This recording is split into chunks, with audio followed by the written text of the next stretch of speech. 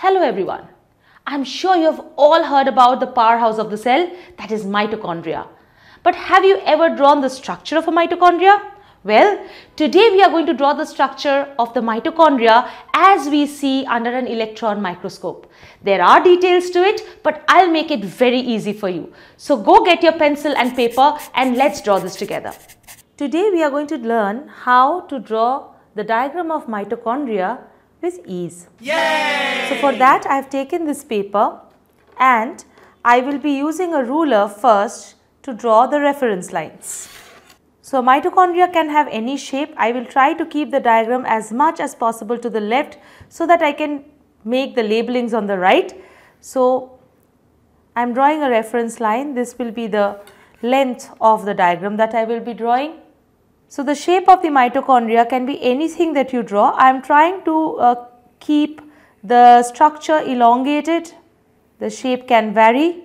Now this that I have drawn is the outer membrane which is smooth as you can see and we will now have to draw the inner membrane. So when you are drawing the inner membrane, the inner membrane is thrown into finger like projections. So I will draw these finger like folds but you have to make sure that the distance between the outer and the inner membrane remains the same where there is no fold. Now you can make a few branches, some of the folds you can make a few branches, some of the folds are small, some of the folds go deep into the matrix.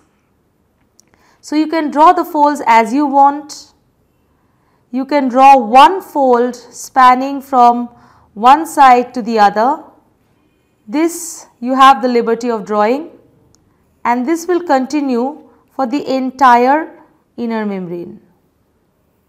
See I have come to the other side and I am trying to draw the diagram as I want but still maintaining the diameter and the distance between the inner and the outer membranes. So that is your inner membrane which has been thrown into finger-like projections. These finger-like projections are known as cristae. Now inside the mitochondria just like any other cell organelle we have a jelly-like matrix. So we will put dots. When you are putting dots make sure these dots are neat and you do not put dots like this. So I do not want dots like this. I want proper dots. So be calm and steady and when you are putting dots do not move your pencil too much. Just touch the page and you will see those dots are much neater than if you are trying to force and draw a dot. And if you have taken a proper pencil, if you have taken a 2B pencil, these dots will come out even better if you just simply touch the page. So this is the matrix. What else is present in the mitochondria? On the surface of the cristae, there are some tennis racket shaped structures if you remember these are called F particles. So I will draw I will draw these tennis racket shaped structures. So we will draw a head and a stalk. Now this should stay on the entire inner membrane but we do not want to make the diagram very untidy. So we will just draw it these structures that is the F particles on one or two cristae. If you want you can draw it on 2, if you want you can draw it on 1 basically just to show that a structure like this exists. Mitochondria as you remember has its own DNA. So, we will draw one DNA and it is just one DNA that we will draw here.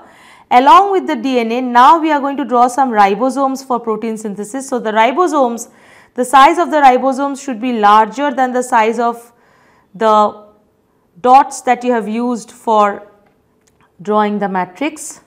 So, these are the ribosomes and that is the structure of your mitochondria. So, now let us label this. So, now we will be drawing a dotted line. You can draw a dotted line or you can draw a very faint line here and we will be labeling the parts. So, we will remember the rules of labeling. The lines for the labeling should be drawn with a ruler and not just freehand and the lines should be parallel to each other.